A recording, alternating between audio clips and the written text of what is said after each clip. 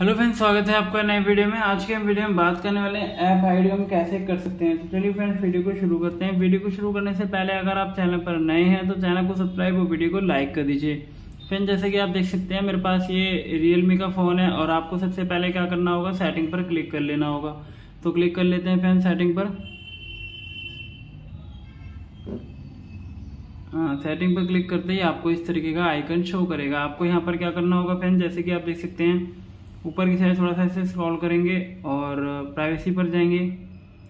Privacy पर जाते ही आपको इस तरीके का आइकन शो करेगा। आपको यहाँ पर क्या करना होगा फ्रेंड जैसे कि हाइड ऐप पर जाना होगा। हाइड ऐप पर जाते ही आपको अपना यहाँ पर पासवर्ड ओपन कर देना होगा।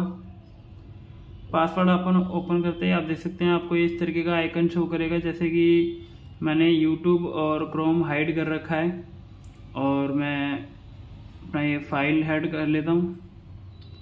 और ये आप देख सकते हैं इंस्टाग्राम हाइड कर लेता हूँ। तो फ़ाइल और इंस्टाग्राम मैंने हाइड करी है। तो मैं आपको दोबारा सबसे पहले सिस्टम पर दिखा देता हूँ कि ये हाइड हुए हैं या नहीं। फिर उसके बाद हम आपको ऐप में जाके बताएँगे। सबसे पहले हम इस पर क्लिक कर लेते हैं ऐप हाइड पर क्लिक कर लेते हैं और अपना पासवर्ड ओपन कर देते हैं। पासवर्ड ओपन करते ही आप देख सकते हैं, आपको ये दिखा रहा है, जैसे कि फ़ाइल भी हो चुका है इंस्टाग्राम भी हो चुका है क्रोम है। और यूट्यूब है। तो मैं आपको इन चारों का दिखा देता हूँ। जैसे कि हमने यूट्यूब यूट्यूब कर रखा था यूट्यूब नहीं है। और क्रोम हमने हाइड कर रखा है क्रोम नहीं है। और फ़ाइल भी हमने हाइड कर रखी है फ़ाइल भी नहीं है। ये आप देख सकते हैं। तो उम्मीद है फ्रेंड्स आपको वीडियो पसंद आएगी। वीडियो पसंद आएगी तो चैनल को सब्सक्राइब वीडियो को लाइक कर दीजिए। मिलते हैं नेक्स्ट वीडियो में। तब तक के लिए नमस्कार।